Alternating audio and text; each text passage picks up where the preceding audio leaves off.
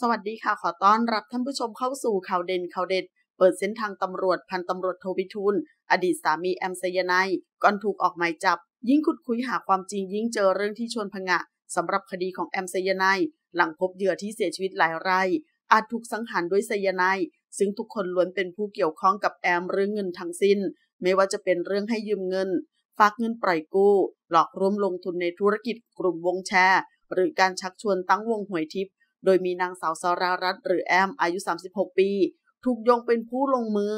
ต่อมาศาลจังหวัดนครปฐมออกหมายจับ พันตำรวจโทวิทูลรังสีบุตรพรรองผู้กำกับสอบสวนสพบ้านโป่งหรือรองออฟ อดีตสามีของแอมไซยานายในข้อหา ร่วมกันรับของโจรและร่วมกันปลอมแปลงเอกสารราชการ และใช้เอกสารราชการปลอมสำหรับพันตำรวจโทวิทูลพบว่าเป็นนักเรียนนายร้อยตำรวจรุ่น 60 หลังจบการศึกษาในปี พศ 2550 ดำรงตำแหน่งพศพงสสบ1สพอำเภอเมืองสุขโขทัย จังหวัดสุขโขทัย พศ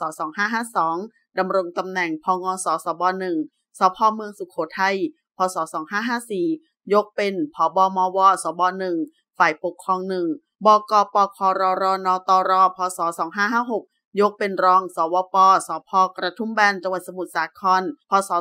2559 เลื่อนเป็น สวป สพ หนองปลือ จังหวัดกาญจนบุรี พศ 2562 ยกเป็น สว สอบสวน สพ ด่านแม่เฉลียบ จังหวัดกาญจนบุรี พศ 2566 เลื่อนเป็นรองผู้กำกับสอบสวน สพ บ้านโป่ง จังหวัดราชบุรี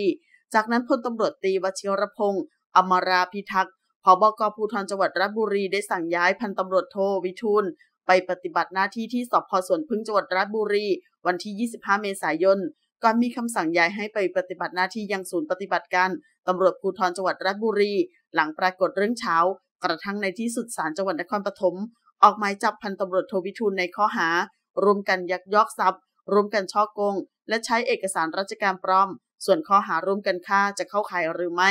อยู่ระหว่างการพิจารณา ซึ่งอย่างไรก็ตามหลังจากศาลออกหมายจับทางพลตำรวจเอกดำรงศักดิ์กิติประพัฒน์ผบ.ตร.มีคำสั่งให้ออกจากราชการไว้ก่อน ขอขอบคุณข้อมูลจากไทยนิวส์ออนไลน์ .com ขอบคุณค่ะ